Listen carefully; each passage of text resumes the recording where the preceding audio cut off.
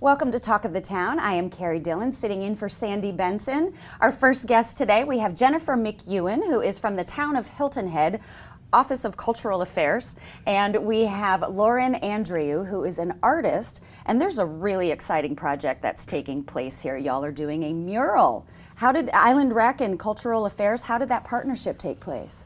Well, I met Lauren probably about a year ago, and she's a very talented mural artist. And just through conversation with Frank Sewell, the executive director of the Island Rec, they were building this beautiful new facility. If you have not been, go check it out. It's yeah. amazing. Yeah.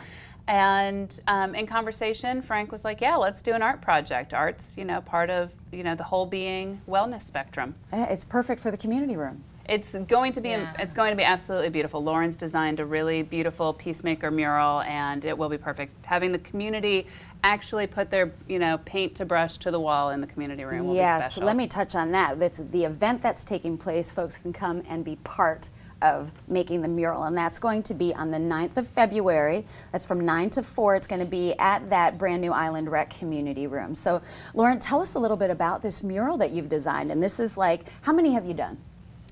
Um, this will be one, two, three, the fourth mural that I've done. Wow. Yeah. And so tell us about it. How did you how did you come up with the concept and? Yeah. Um, so last year summer we got to do a community mural in Bluffton, uh, centered around domestic violence awareness, and it was an amazing success. It was super fun. It was the first like paint by number style mural that I had done.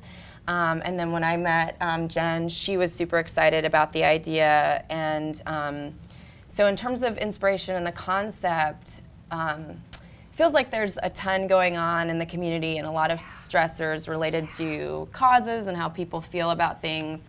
Um, to the point that it almost feels like people have lost their minds. it, it is. It, it is. It is. It is a it state of things. People. Yeah. So many people have gotten to that place where they never say anything, but they've got to weigh in. Oh yeah. You know, I've seen that so many times. I usually don't say anything. This is such a wonderful opportunity to share and speak visually. Yes, and the idea is that you can come from a place of anger and bitterness, but that's not going to really uh, make your life better. Right. Um, and so these are iconic images of people, peacemakers across time and history who just represent what peace means. And so people get to come out and um, experience what nonviolence looks like and get to leave a lasting impression on the community. And there's something about the arts. It's a universal communicator, um, and so very excited. So, how do people actually get to participate? Just come on down. We're going to be at Island Rec from Show 9 up. to 4, all ages, all skill levels. There is something for everybody to contribute to this mural.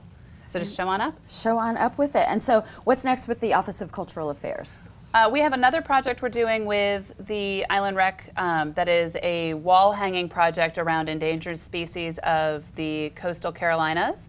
So we'll be doing some lectures at Coastal Discovery in the Island Rec. We will be doing some batik, which is a wax to oh, fabric um, lecture and um, workshops and some indigo lectures and workshops all over at the Island Rec through February and March. And that is sponsored by the Community Foundation of the Low Country. Thank you, Community Foundation of the Low Country. They're fantastic. Um, so there's uh, you can there's so much going on, like you were saying. There's so much going on, and y'all are going to document this, and, and and I'm sure you also for all these other events that you have going on social media. Tell us about how we follow all of this. Yes, right now we're kind of documenting the before, but we will also be showing the after on um, both our Facebook and Instagram, which is Culture HHI. And we have a living website where all of this is constantly being updated at culturehhi.org. Wonderful. So this partnership, are you seeing other potential partnerships with, with the arts and, and the community sort of coming together? Definitely. I'm Lauren's heading to the middle school right after this, mm-hmm. and we're going to be working quite a bit with the schools and um, Community Foundation. The we have a junk art workshop going on at Shelter Cove on April 19th, which is also free, where we have a professional artist, and a poet who are coming together and people are going to make art out of unrecyclable trash. Love it. Um, so that'll be April 19th from 1 to 4 and that's another just drop on in and let's make free art together yeah, and awesome. write poetry. So we got drop in. I just want to cover that once more and that's going to be the 9th of February from 9 to 4. Just show up.